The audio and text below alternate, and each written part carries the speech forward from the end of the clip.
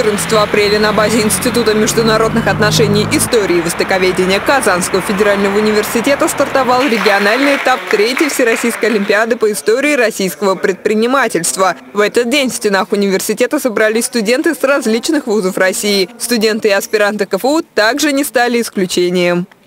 Данная Олимпиада проводится в рамках всероссийского проекта «История российского предпринимательства». Это совместный проект Общественной организации «Деловой России» и Российского исторического общества, который направлен все-таки на сохранение памяти и актуализации а, вопросов а, истории предпринимательства нашей страны. Ведущей целью проведения Олимпиады стало не только сохранение памяти о российских предпринимателях, но и вовлечение современной молодежи в составление новой летописи российского предпринимательства. Открыл данное мероприятие почетный гость регионального этапа Олимпиады, председатель Тюменского регионального отделения «Деловая Россия» и председатель правления банка «Аверс» Камиль Юсупов.